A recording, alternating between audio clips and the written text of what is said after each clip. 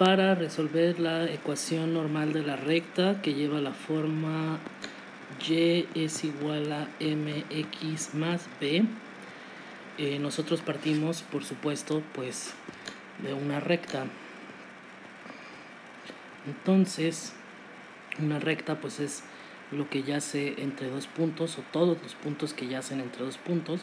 Entonces podemos decir que nuestra recta es, por ejemplo, aquí 2,2 y un segundo punto lo podemos poner en 3,4 o bueno, nos podemos ir a 4,4 para aprovechar un poco más el espacio. Entonces, todo todo todo todo lo que esté aquí así, que cumpla esa esta eh, que satisfaga estos dos puntos es parte de la recta. Entonces, ¿yo cómo resuelvo? Bueno, primero voy a elegir un par de coordenadas, ¿no? Eh, y entonces de aquí voy a tomar mi y. Y en este caso va a ser 4. Recordemos que la y es el segundo dato que obtenemos. Entonces 4 es igual a m. ¿Cuál es mi x? Mi x también va a ser 4, ¿no? m por 4 más b. Aquí lo que es muy importante es que puedo usar cualquiera de los puntos, incluso podría eh, utilizar eh, este punto de aquí y satisfaría, eh, valdría, o sea, los valores serían válidos porque está sobre la misma recta. Eh, lo importante es que solo debo de utilizar para obtener mis x y mis y uno de ellos. Eh, cualquiera no importa, pero no puedo usar un dato de aquí y otro dato de acá. Tengo que usar los datos del mismo punto. Entonces, ya que tengo esto, ¿cómo voy a calcular la m? Si recordamos, la m es igual a y2 menos y1 sobre x2 menos x1. Entonces, ¿cómo lo obtengo? ¿Cuál es mi y2? Bueno, esta es mi y2, que es m es igual a 4, menos mi y1, que es este 2 de aquí, menos 2, sobre, y esto va a ser muy sencillo, la pendiente claramente es 1, sobre mi x2, que es esta, 4, menos mi x1, que es esta.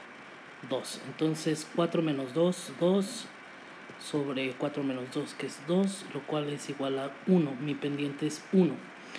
Entonces eh, voy a borrar esto y voy a sustituir por mi valor m aquí en la ecuación, que sabemos que simplemente se multiplica por 1, la pendiente es 1.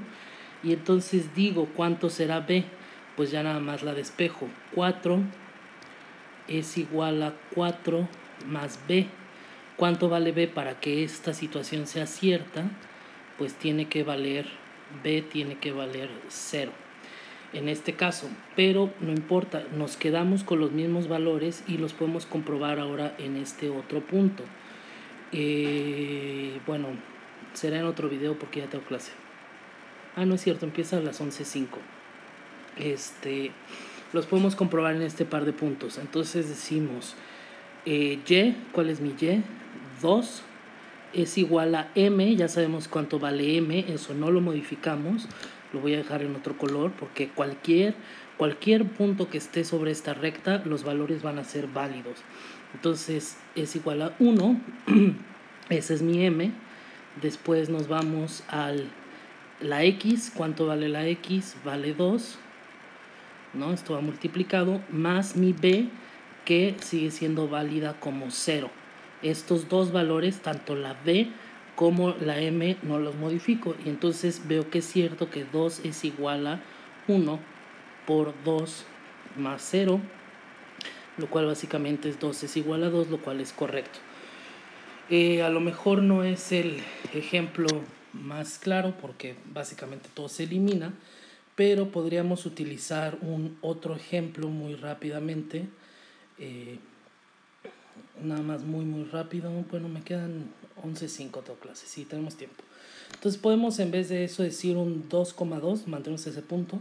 Y para que sea diferente nos quedamos en un 3,4. Entonces tenemos 2,2 y 3,4. Entonces esta vez podemos empezar por este, no importa en cuál sea, finalmente todos los puntos satisfacen esa, esa recta, sin importar. Entonces Vamos a empezar por aquí. ¿Cuál es mi Y? Mi Y va a ser esta, siempre es el segundo dato, Entonces es 2 es igual a m. ¿Cuál es mi x? De nuevo es 2. Es el, el primer valor siempre. m por 2 más b. Aquí claramente la pendiente sí es diferente. Entonces, ¿qué hago? Bueno, ahora el siguiente paso es calcular mi m. ¿Cómo calculo mi m? Ahí sí tengo que tomar en cuenta las dos coordenadas. Entonces es y2, m es igual a y2, ¿cuánto vale y2? 4. Menos y1, ¿cuánto vale y1? Es 2. Entre x2, ¿cuánto vale x2? 3. Menos x1, ¿cuánto vale x1? 2.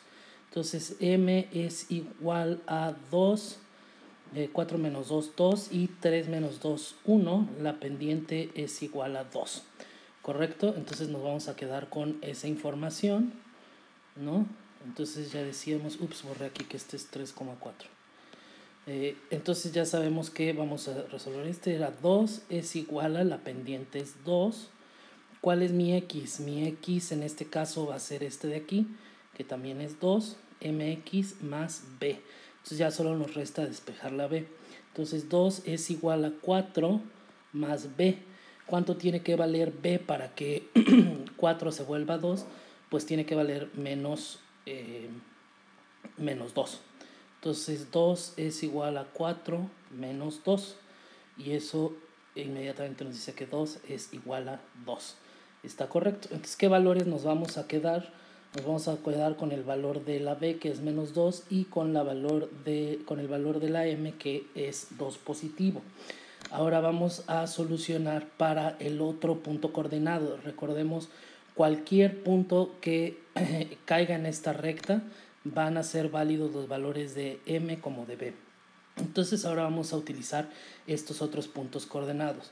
¿Cuál es la y? La y es el 4, es igual a la m que ya habíamos dicho que era 2 la x vale 3 y eh, decíamos que vale menos 2 la b.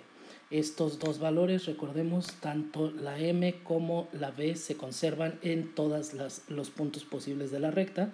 Hicimos 4 es igual a 2 por 3, 6 menos 2, que es 4, es igual a 4 y vemos que nuestros valores son correctos.